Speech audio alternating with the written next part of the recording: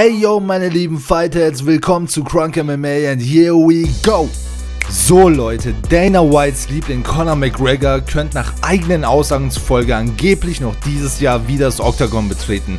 Nach nur zwei Monaten der Genesung fasst sich McGregor kurz und sagt, ich könnte jetzt sofort antreten. Dana White ergänzt McGregors Aussage mit, Conor McGregor erholt sich ziemlich schnell und gut. Zudem sagt McGregor, es ist so gut wieder auf den Beinen zu sein. Ich habe das Gefühl, dass ich jetzt wieder kicken kann. Ich habe wirklich das Gefühl, dass ich dazu wieder bereit bin. Trotzdem muss ich weiterhin auf die Ärzte und die Leute hören, die mich beraten. Das habe ich bisher auch getan. Ich war eine Zeit lang verärgert, es war wirklich nicht einfach. Ich habe ein paar Höhen und Tiefen in dieser Sache gehabt.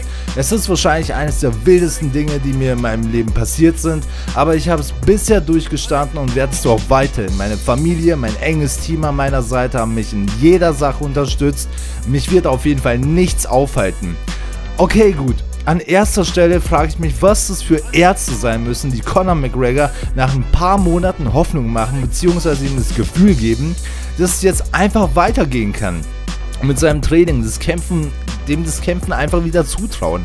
Als zweites frage ich mich, wie bescheuert Dana White eigentlich ist. Jetzt mal ganz ehrlich, dass Dana in Sachen Bezahlung der Fighter ein egoistischer Blödmann ist, steht außer Frage. Das weiß die ganze MMA-UFC-Welt. Aber was die Gesundheit der Kämpfer angeht, sollte meiner Meinung nach nicht wie, nicht wie eine läufige Hündin abgehen. Freunde, erinnert euch bitte mal an Chris Whiteman, der die gleiche Verletzung hatte. Oder lass es einen Ticken schlimmer sein. Aber The All-American hat bis heute mit dem Bruch zu kämpfen. Wie kann ein Conor McGregor bitte innerhalb kürzester Zeit, was ein fit und oder bereit erzählen?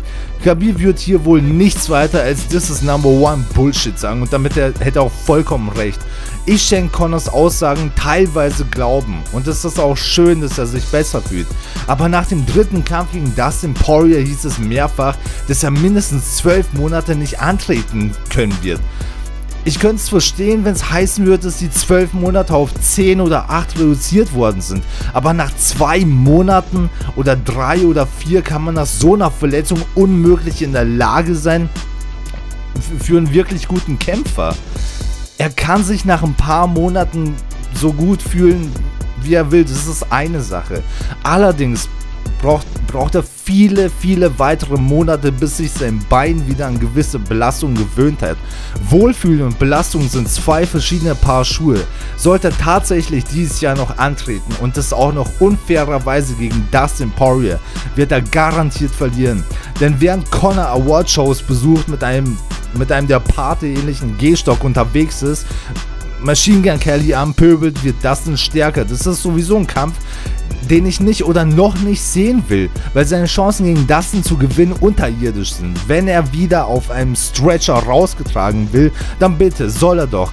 Ich will erstens Conor McGregor zu 100% gesund haben, zweitens ihn erstmal dabei sehen, wie er zum Beispiel einen Tony Ferguson erledigt und Tony ist kämpferisch so unfassbar kreativ, was Conor bisher in seinen Kämpfen noch nie hatte.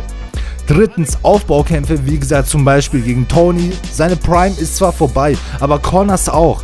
Vom Level her wäre der Kampf also ein sehr gutes Match. Das ist für mich der Kampf, der als erstes, als nächstes gebuckt werden soll. So, meine Kämpferherzen, das war's an der Stelle. Ich verabschiede mich. Schaut das nächste Mal wieder rein, wenn es euch gefallen hat.